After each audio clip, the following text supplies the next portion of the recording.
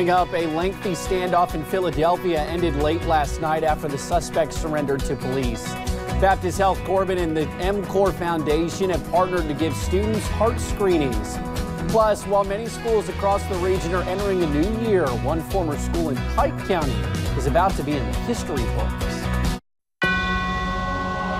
Dedicated to Eastern and Southern Kentucky, this is WYMT Mountain News This Morning.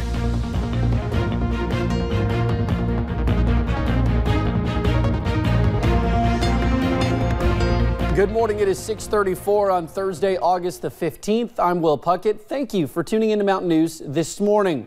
Some are waking up to fog, but for the new, the good news is none are waking up to rain. Some might have seen it overnight, but right now, nada. Let's bring in Brandon this morning, give us a better breakdown of what to expect on this Friday Eve.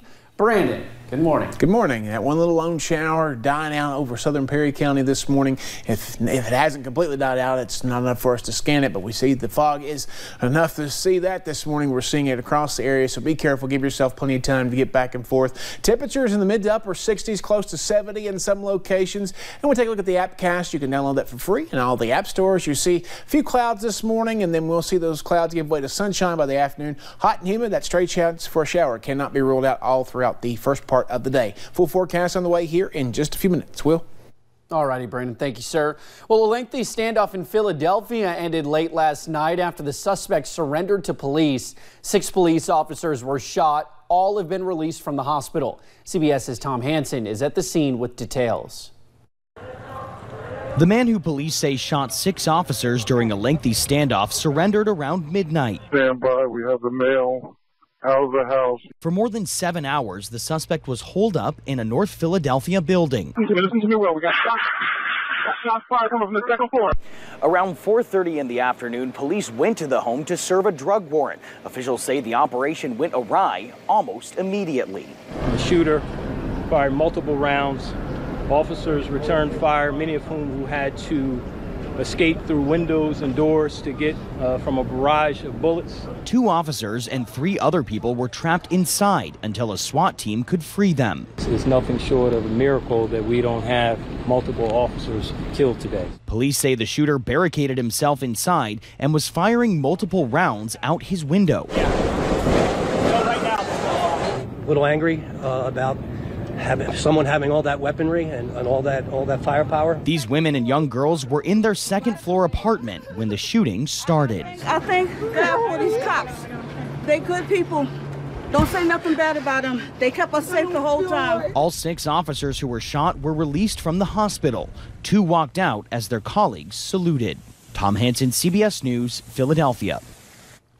Now, another police officer was injured in a car crash related to the standoff and was taken to the hospital. An attorney says his former client, 36 year old Maurice Hill, is the suspect. He was not injured during the standoff. An officer involved shooting in Louisville leaves one person dead. It happened Tuesday night in the city's East End. Officials say they were called out for a domestic violence situation. When they got there, the suspect pointed a gun at officers. Police shot the man, killing him. No officers were injured. Two people went to the hospital after being hurt in the domestic violence incident. Well, University of Louisville trustees approved the school's purchase of a financially struggling hospital under a plan that would include a $50 million state loan. The deal will significantly increase the university's footprint in the medical sector of Kentucky's largest city. Under the deal, U of L would purchase the greater Louisville market assets of KentuckyOne Health Incorporated, which includes Jewish Hospital. Half of the $50 million loan would be forgivable if job retention and other conditions are met. Baptist Health Corbin and the MCOR Foundation have partnered to give students heart screenings. Student athletes have the opportunity to get heart echo and EKGs through Baptist Health for free. Physicians say the screenings can save lives as one in 100 kids are unaware they have a heart condition. The number one killer of student athletes each year is sudden cardiac arrest. And what sudden cardiac arrest is, is when that heart just stops. The next screening and information day for Corbin students will be September 13th. Well, while many schools across the region are entering a new school year, one former school in Pike County is about to be in the history books. The Camp Creek Schoolhouse began serving students in the stopover community in the late 1890s. It served as a church and school for 70 years before it was turned into a home more than 40 years ago. Now the building's use has come to an end. WYMT's Buddy Forbes has more.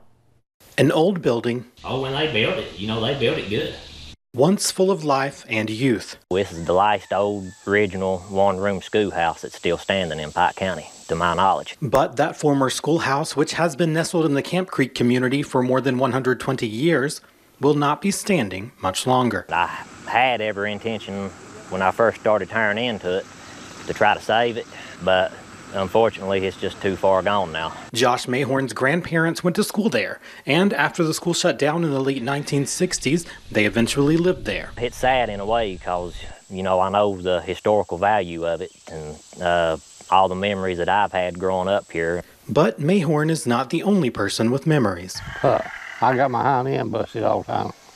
Clell Blankenship was a student at the one room school until it closed.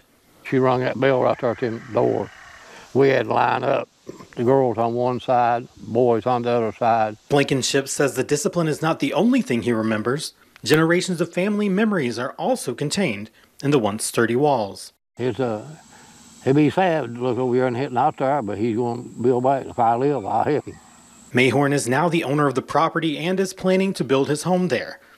And he wants to build something that looks similar to the old school. I know it won't be the original, but when people come, they'll look at it and it'll remind them of what used to be here. He says it is a way to honor the history of his family and community. In Pike County, Buddy Forbes, WYMT, Mountain News. Now, Mayhorn says the building will be open for a few more weeks to anyone who wants to contact him about taking photos or to just stop by to share their memories. After that, he expects to begin demolition. Well, while school is in full swing in many school districts, several of them still struggle to fill vacant positions. We wondered how much teachers earn. Through state statistics, we learned the average classroom teacher's salary is $53,000, 923 bucks a year. The affluent Louisville area of Anchorage has its own school district. Its teachers average the most at more than $67,000. The lowest paying district is right here in eastern Kentucky, Pineville, where a teacher averages $43,407. Well, it was the first day of school up in Lexington yesterday, but a sign at one elementary school is catching a lot of attention. A parent took a photo of one of the In God We Trust signs. It was in the form of a dollar bill. The mother took this photo at Athens Chilesburg Elementary School. This comes after a, a, bill passed through the Kentucky General Assembly required schools to display In God We Trust prominently. Yesterday, Democratic gubernatorial nominee Andy Beshear released a plan aimed at producing more Kentucky jobs tied to farm technology and advanced manufacturing. Beshear calls it his kitchen table agenda. The plan includes starting business, business accelerators and expanding access to credit to recruit agri-tech and advanced manufacturing operations to Kentucky. The current Attorney General is challenging Governor Bevin in November. Meanwhile, Senate Majority Leader Mitch McConnell is denying any advance knowledge of a deal with Russia that benefited Kentucky. The Washington Post reports that earlier this year, Senator McConnell pushed for lifting sanctions from companies partially owned by Oleg Deripaska, who was tied to Russian President Vladimir Putin. U.S. sanctions at the time forbid anyone to do business with the Russians in response to meddling in U.S. elections.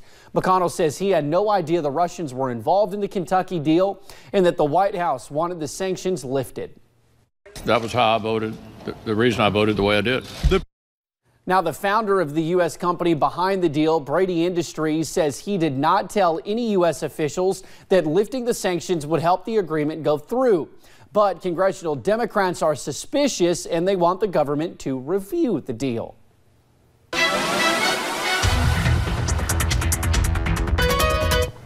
Foggy forecast again this morning, and it's getting worse. It's ebbing and flowing. You see zero visibility in Logan, and then less than one mile there, Jackson, Hazard, Pikeville, zero visibility Williamsburg, zero visibility Jonesville, and less than a mile there at Harlan and Middlesboro. So just be careful. That five mile threshold down everywhere today. So we're seeing less than that across the region. Temperatures in the 60s and one low 70 now. Prestonsburg and Ashland drop down into the 60s again. 72 there in Jacksboro. Your out the door forecast features uh, climbing temperatures quickly today into the mid to upper 80s and sunny clouds later on. A straight chance for a shower can't be ruled out either. Will?